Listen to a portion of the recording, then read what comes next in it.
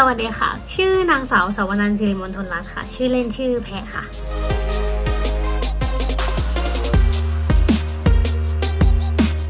ก็คืองานที่แพนส่งเข้าประกวดนะคะมันจะเป็นทีสิทธิ์ของแพรเองค่ะ จะชื่อว่า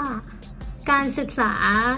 เทคนิคภาพลวงตาอนามอร์ฟอสิตเพื่อนำเสนอผ่านสถาปัตยกรรมชั่วคราวค่ะ แล้วก็มันจะมีอีกชื่อหนึ่งที่แพรแบบ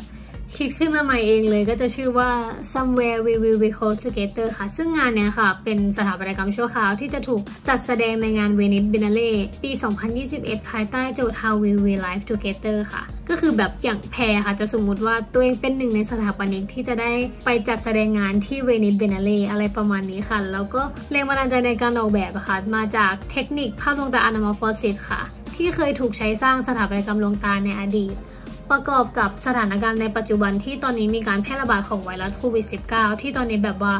ทุกคนจะมีระยะห่างซึ่งกันและกันแพทก็ได้หยิบยกประเด็นการมีระยะห่างกันระหว่างผู้คนนะคะ มาใช้สร้างเป็นสถาปัตยกรรมชั่วคราว ที่ทำหน้าที่นำเสนอภาพลวงตาความใกล้ชิดกันของผู้คน จากที่ในความเป็นจริงอะคะ่ะ ผู้คนในสถาปัตยกรรม ต้องมีระยะห่างกันให้กลายเป็นภาพลวงตาที่คนภายนอกสถาปัตยกรรม จะเห็นว่าผู้คนในสถาปัตยกรรมยังคงแบบใกล้ชิดกันเหมือนเดิมเรากับไม่มีข้อจำกัดเรื่องระยะห่าง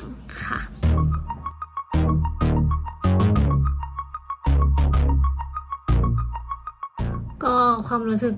ที่แบบรู้ว่าได้สองรางวัลเป็นยังไงใช่ไหมคะก็จริง ๆ แล้วหนูรู้ว่าได้ที่หนึ่งมาประมาณเดือนเดือนก่อนค่ะ แต่ว่าตอนที่รู้ก็คือมีทีมงานโทรมาแล้วพอแบบพอเขาโทรมาเสร็จบอกว่าแบบเออได้ที่หนึ่งนะอะไรเงี้ยหนูก็เลยแบบตกใจมากก็เลยเอาเบอร์ของพี่ทีมงานนะคะ ไปแบบเสิร์ชหาว่าแบบมันเป็นเบอร์ใครหรือเปล่าแบบหนูรู้สึกว่ามันแบบเออมันเป็นไปไม่ได้แน่ๆที่เรื่องนี้จะเกิดหนูก็เลยเอาเบอร์ทีมงานนะคะไปเสิร์ช ใช่แต่สรุปแล้วพอเสิร์ชก็คืออ๋อมันเป็นเบอร์แบบพี่ทีมงานของสมาคมสถาปนิกจริง ๆ ก็เลยแบบอ๋อนี่เรื่องจริงเหรอเนี่ยอะไรแบบเนี้ยค่ะ แล้วก็เมื่อไม่นานมานี้ก็เพิ่งรู้ค่ะว่าได้รางวัลความคิดสร้างสรรค์ด้วยก็ดีใจค่ะ ดีใจมากๆ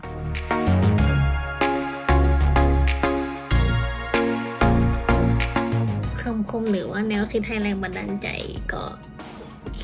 หนูว่าหนูไม่มีแต่ว่า ไม่รู้ว่าเป็นคำคมหรือเปล่าด้วย แต่ว่าถ้าจะต้องพูดอะไรสักอย่างหนึ่งก็ อยากจะพูดว่าเออแพรเชื่อว่าสิ่งที่เราทุกๆคนนะคะทำจาก